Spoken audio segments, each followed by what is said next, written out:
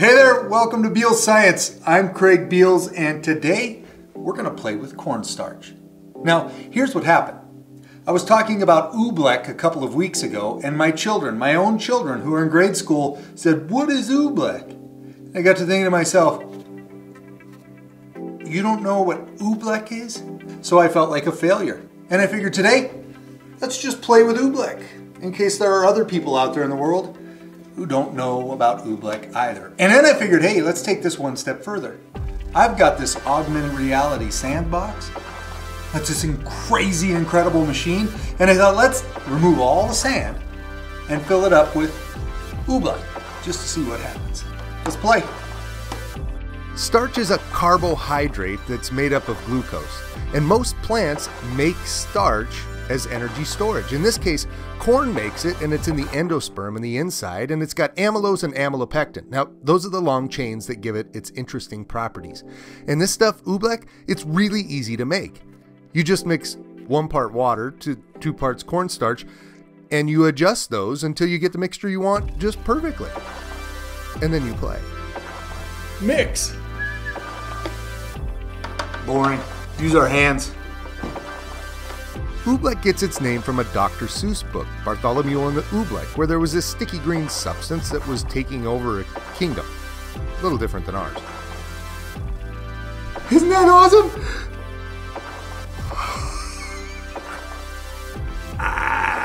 Just too much fun. I can't stop. But here's the thing.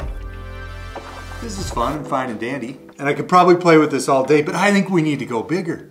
Like, I think we need to go way bigger.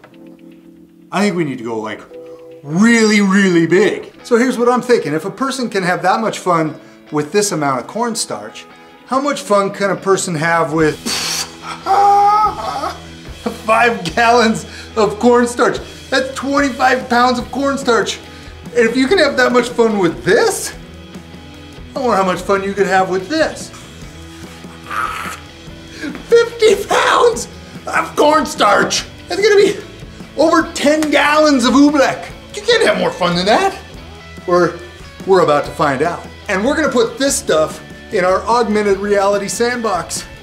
It's gonna be fantastic. So I've gotta be perfectly honest with you. I don't have a clue what this is gonna look like when we fill this whole thing up with cornstarch and water and make our oobleck. The oobleck isn't gonna stay like this, so it's not gonna have a lot of time to draw contour. It should spread out immediately. But if we get the mixture just right, I should be able to make some sort of shape, a hill or a mountain, and then watch it slowly slump out over time. Really only one way to find out. We shall wait no more. Sand, be gone. 150 pounds of, uh, you say that again without a weird accent. 150 pounds of sand gone. And we gotta load up the oobleck. I think for cleanup purposes, plastic is gonna be our friend on this one. 50 pounds of this is gonna take a long time.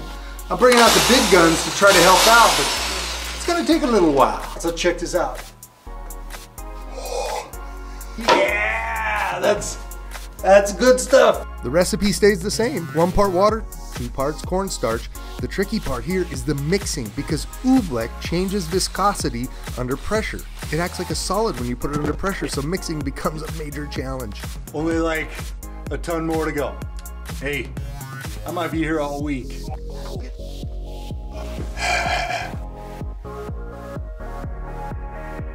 You know, I've got this mantra that I live by if a little is good, more is better. And sometimes that makes for great fun. Sometimes it makes for disaster. And in this case, it's probably a little bit of both. I haven't touched it yet.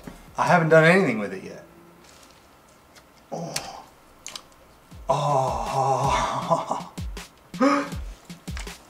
yeah. Yeah.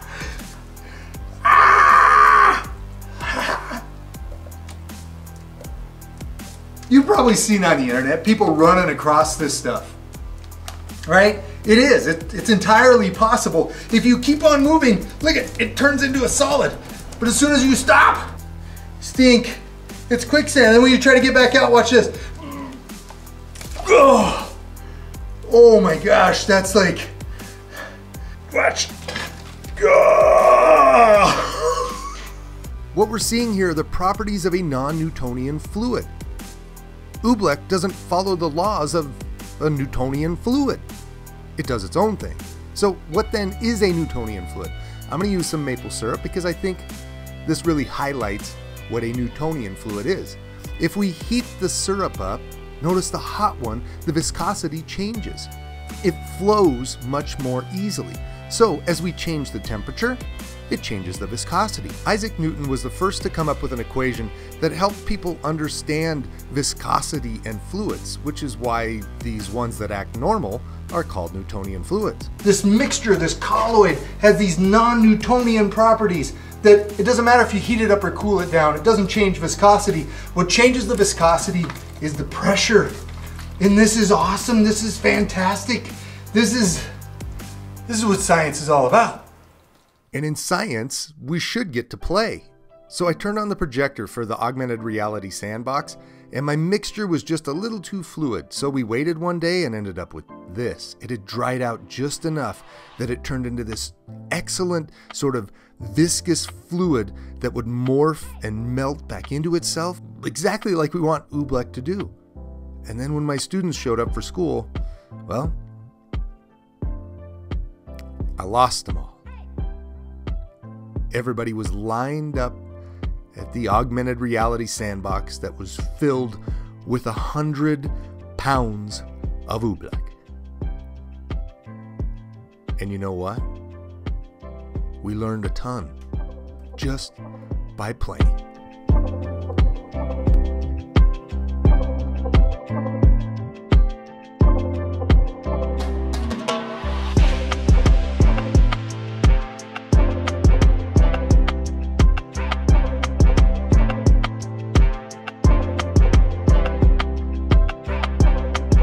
Can't stress to you enough. If you've never made this stuff, go out and get some cornstarch. You only need a little tiny bit and a little bit of water, and you get to experience this magical non-Newtonian fluid that's just not even, it boggles the brain, it boggles the mind. And you know what? I'm trying to do a lot of mind boggling here at Beals Science, bealsscience.com. Come on over and see me or hit the subscribe button right down there. That would make me just really happy. I got a whole bunch more videos coming up and I'd love to share them with you. But my goal always with this is to convince you keep on learning.